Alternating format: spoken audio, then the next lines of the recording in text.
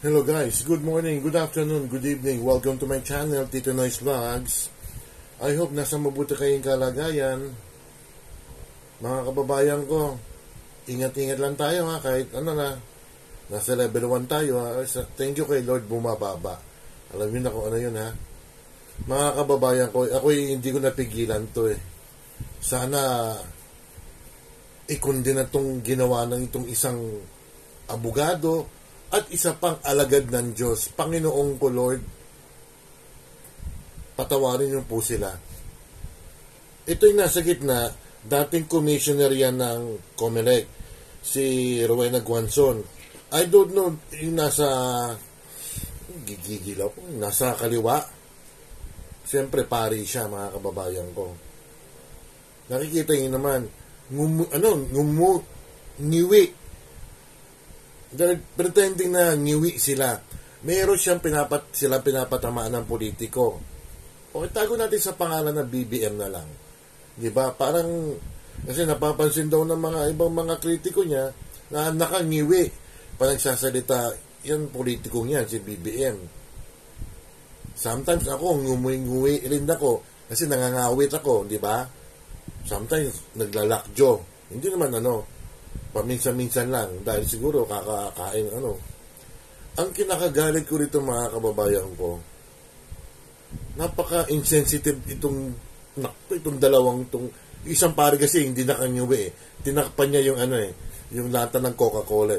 Pero itong isa itong babaeng to, yung abogadong yan, ay yung paring yan, napaka very disrespectful. O kalimutan natin si BBM. Disrespectful sa mga PWDs disrespectful sa may mga sakit. Oh, di ba may mga anak tayo may mga ganyan na karamdaman? Yung hinyui ang ang mukha. Di ba? May mga Naku, naalala ko tuloy nanay ko, parang gusto, napakawala kayong respeto sa PWD. Ikaw, Attorney Guansong ka, sana ma-reprimand ka ng IBP. Ah, baka kakampi ka, hindi umano ng IBP.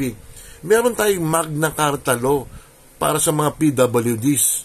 Di ba mga PWDs, may mga konting diferensya yan. Ha? Di ba mga senior citizen, listen, mga PWDs, ang babagal na maglakad, ika-ika na. Ako, magiging senior na rin ako.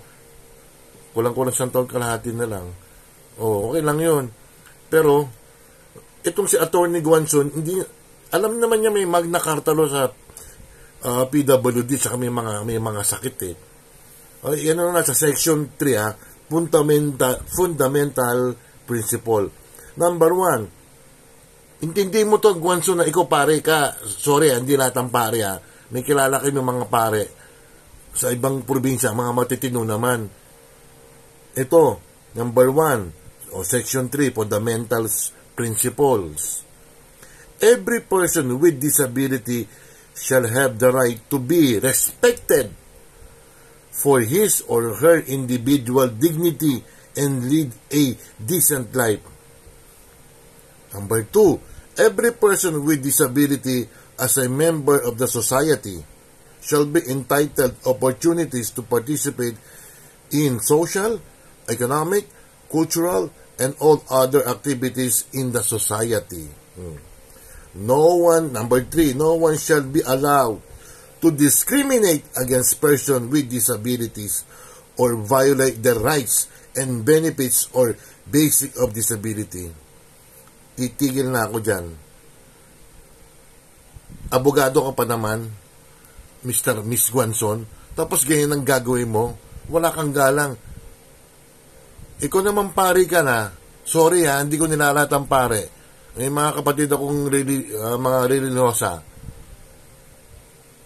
Imbis na ipagtanggol mo yung mga may karamdaman, ikaw, ito tolerate mo yung babaeng yan, yan abogadang yan, anong klase kang pare? Hindi ko nilalahat ha. Magalit kayo sa akin, pero hindi magandang ginawa nyo. Diniscriminate nyo ang mga PWDs. Ha? Ininsulto nyo ang mga karamdaman. Di ba pa na-stroke nang umingiwi ibang mga ano, mga pasyente, oh, di ba? Eh, dapat talaga, parusahan to si Guanson eh. At saka itong paring to, eh, parusahan din niya, ma-reprimand man lang. Huwag naman sana ganun ang attitude nyo. Wala kayong galang sa mga tao may karamdaman. May, may diferensya sa buhay, sa pangangatawan. Tapos yan ang gagawin nyo. Eh, lalo mananalo yung ano niyan, yung iniinsulto nyo. Alam nyo naman ng mga Pilipino, pag underdog ka, ikaw kakampi yan. O, depende lang kung anong klase underdog ha.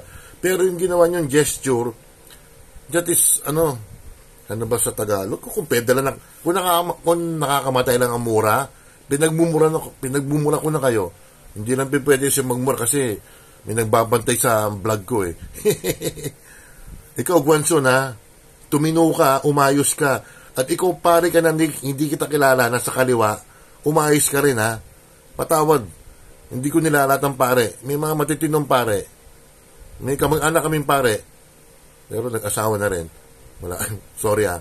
Nila mga babayan ko, eh, pakishare na lang to. Dapat i-condemn na itong ginagawa itong si Guanson na to eh. Mukhang may ano eh.